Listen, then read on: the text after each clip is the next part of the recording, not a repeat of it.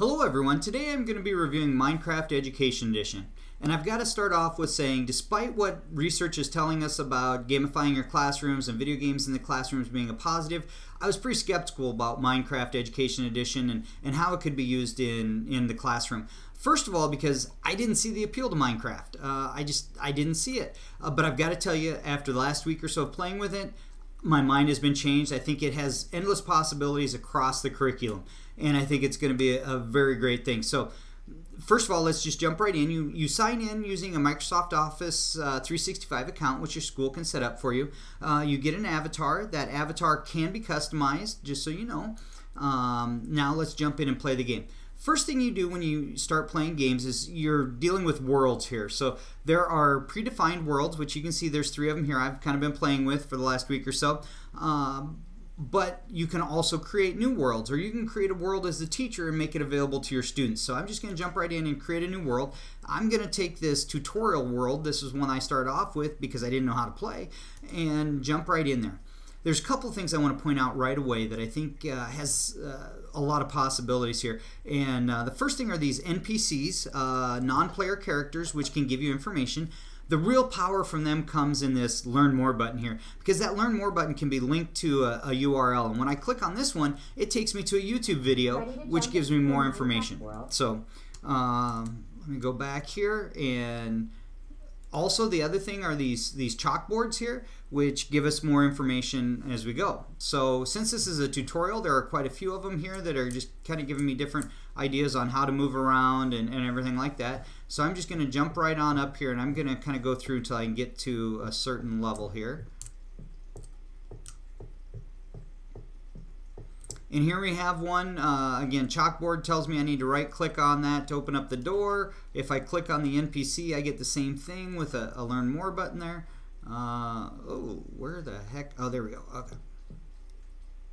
And now we kind of get into the, the gist of Minecraft in that I need to mine to get through this wall. So let me get through here.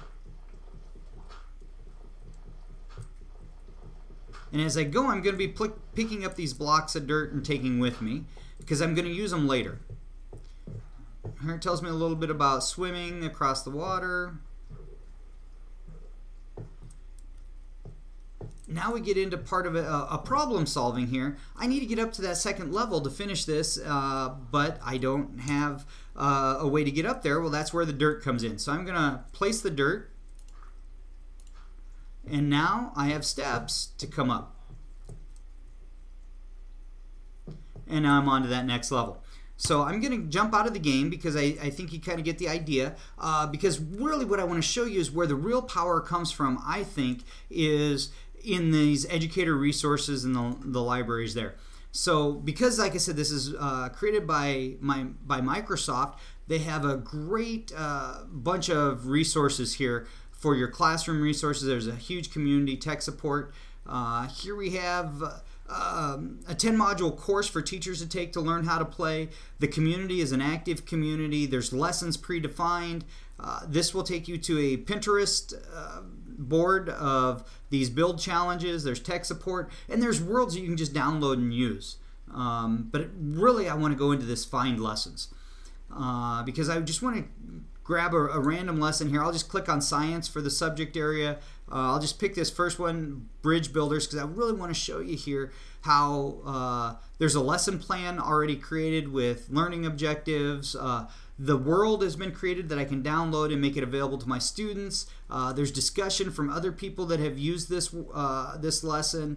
Uh, so I think there's a lot of a lot of possibilities there uh, on what I can do. The other thing that I think is really, uh, really kind of a neat thing is this wiki.education.minecraft.net. Uh, it, it, helps kind of get through things. There's lesson examples. Um, there are Common Core State Standard links, and if you think you might have a little bit of pushback, uh, there's articles here and research that that talks about gamifying your classroom and, and using video games in your classroom and the benefits to it. So with all of that, uh, I, my mind has really been changed. I think uh, that Minecraft Education Edition, especially, has a lot of possibilities to be used in the classroom for wonderful things across the curriculum. Uh, have a great day. Thank you.